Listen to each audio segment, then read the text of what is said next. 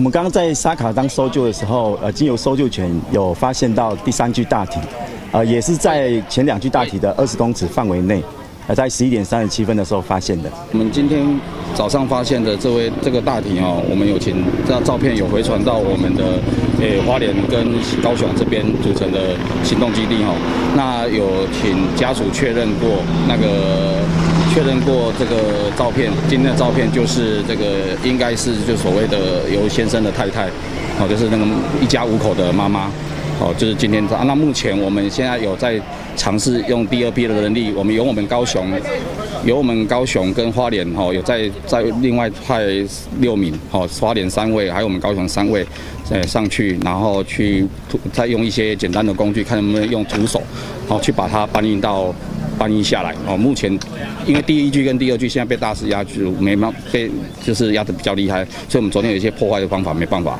那现在就是用第三句，可能用尝试徒手的方式，看可不可以把它徒步把它弄先先先行把它送送下来。好，不要抬头，不要往前蹲下前面的。哦，麻烦你们的，麻烦你们的，谢谢谢谢。好，你讲的日语是？谢谢谢谢。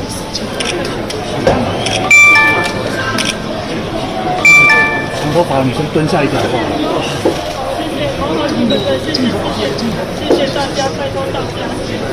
目前可以目视到两个两个那个患者的位置，对，那因为给我们一开始资讯是一个家庭是两大三小，然后再加一个女生，对，所以我们大概也设定开始那边是乐区，那目前就是可以先目视两个，是我们现在可以处理的状况这样子。所以他们的位置都是在同一个零点五。的那哦，就是都在那个大崩壁那个地方，对，都在同一处，对，同一处。两具遗体的话，男生是大人小孩？呃，目前看起来身形，其实推估是男生应该是大的大人，那女生应该是是他们家如果是小孩的话，应该是姐姐那个位置，对，因为跟发型跟她的身形比较符合。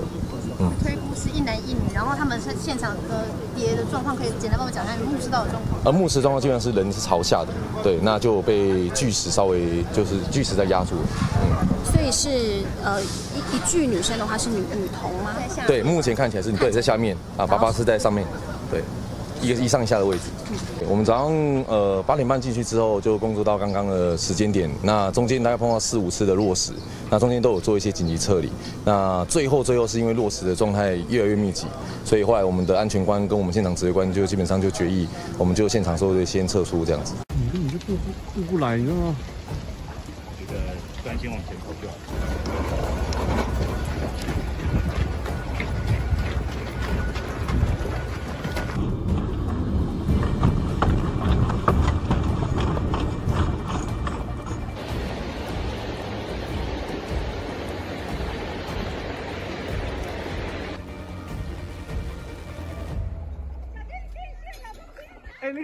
不要摸那个，倒了倒了，房子倒了，歪了歪了，房子歪了，哎哎，房子歪了。你根本就过不过不来，你知道吗？觉得专心往前跑就好。嗯。我去跟台东啊。哦。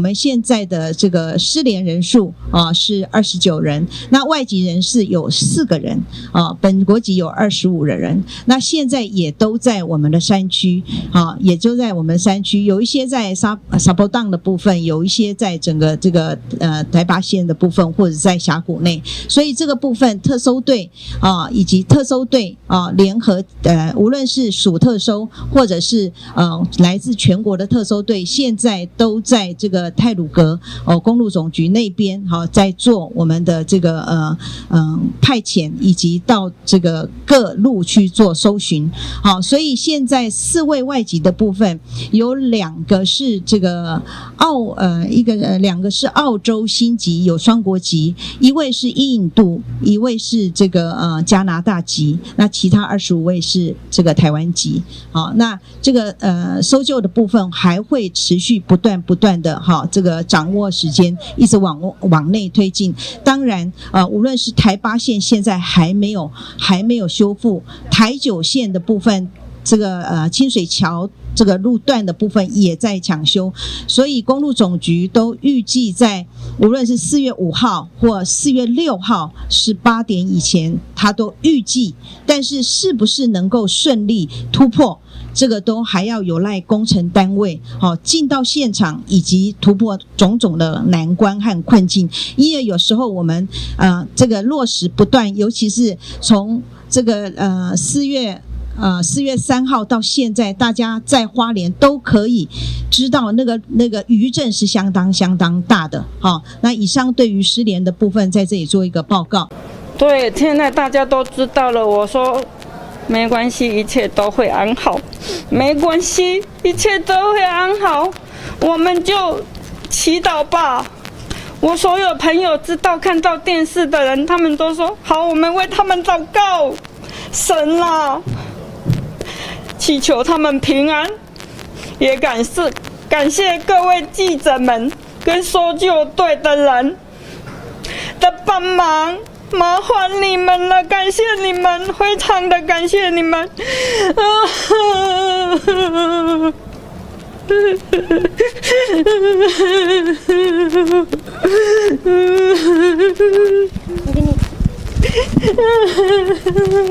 感谢你们。辛苦了，辛苦了，辛苦了。好了好了，没有啦，因为大家很很担心他们啦。希望他们有奇迹出现，一切都安好，没事情。感谢上苍，感谢地，祈求他们平安，祈求他们有贵人出现。感谢大家，感谢。啊，儿子啊，你们会平安的。对啊，大家大家很担心他们，他们会帮忙制造。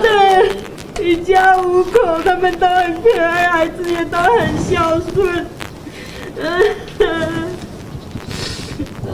不要拍了，好，好，不要拍了。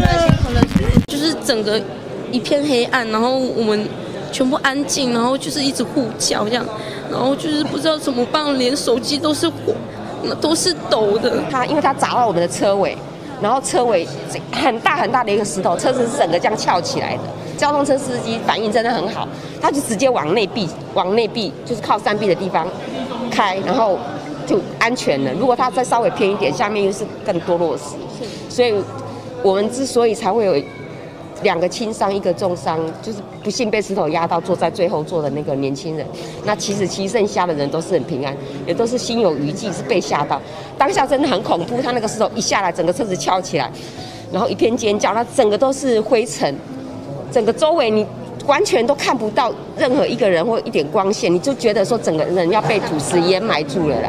就有人都会保持很清清醒，都会说不要哭、不要叫、不要慌。后来司机不是开到靠壁的地方吗？他的那个位置可以打开，因为大家也觉得靠山壁比较安全，所以司机就反映就是让大家走出他司机驾驶座那个位置。嘿，他打开他那个位置的门，然后让我们一个一个走下去。所以那一天我们是在靠着山壁的地方休息的。嗯，您刚才说，然后当下就一片黑暗嘛，嗯，对。然后你们后来是怎么样？呃，可能有下车啊，或者是没有，就是两台交通等了几秒钟，就是一直呼喊，然后当时当时就是一直敲打前面，因为我不知道该往哪里走这样。然后前面的阿姨就说有洞可以钻，这样就是我朋友已经被压压，就是已经走了这样。然后没想到我出去的时候，他还在呼喊我这样。然后我们就全部就先下车这样，因为当时落落石就一直落，就是我有录音，十七岁的男生，然后整个身就是整个石头压在他身上。我昨天有录音，昨天的落实。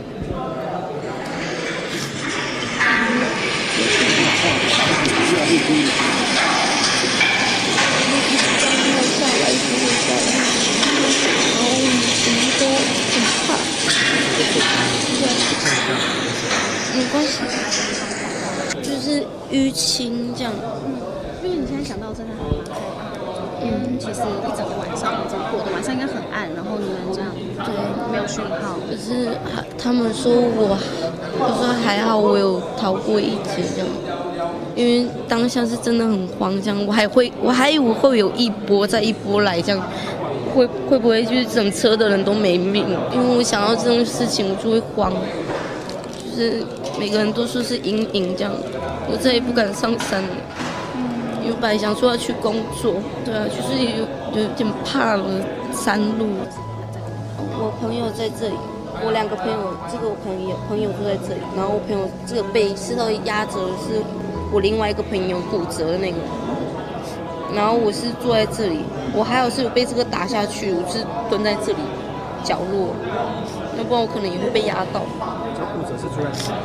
嗯，就在我旁边，就是他是整个身体被压的，然后他一直说救他、拉他这样。坐左边、右边。右边，现在很慌，真的。你看一下你的手吧，你手怎么了？你怎么样了？昨天手还有哪边受伤？去膝盖淤青而已，因为我们是正要上去工作，然后路途中就遇到落落石这样。当当下好像讯息全无，所以联络不到，全也不知道饭店的状况是什么样子。